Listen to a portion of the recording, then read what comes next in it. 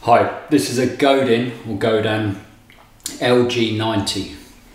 Um, it's a all mahogany guitar, really solid feeling. Um, doesn't feel like it's, it's, going to fall apart very easily. It's, it's a really solid guitar. Um, not incredibly heavy, but heavy-ish, um, as you'd expect from mahogany. It's got two Seymour Duncan P90s, which are really high output, and they're great blues pickups. And uh, volume tone, three-way switch. The bridge on these is, is sort of sunk into the body, which is quite a cool feature. I suppose it's to do with the angle of the neck. Uh, it's a bolt-on neck. So unlike a Les Paul or something where the neck would be angled and this could be raised up, the, the, on these they've sunk them into the body. You can still adjust it, but it's, uh, it's quite a, a good little um, feature that the way they've done that. So yeah, it's got a four bolt neck, mahogany neck.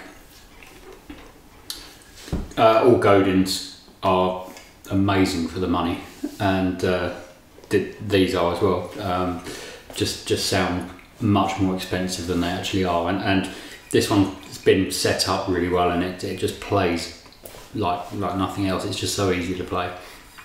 So it's got quite a quite a fat neck. Um, I suppose it's a bit like a Les Paul sort of neck. Um, maybe a little bit chunkier than a 60s type Les Paul neck, but only slightly.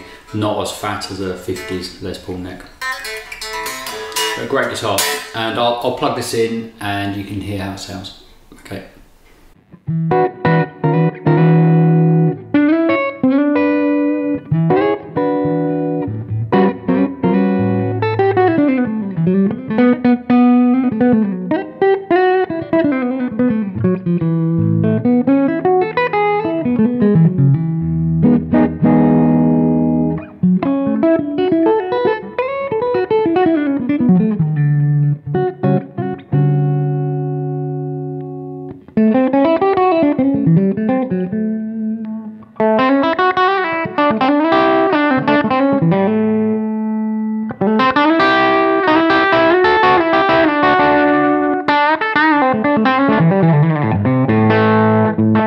Thank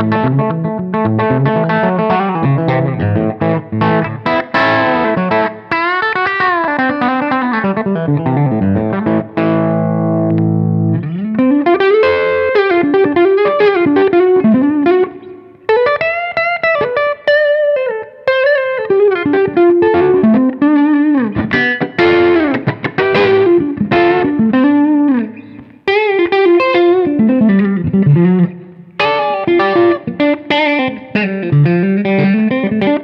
thank you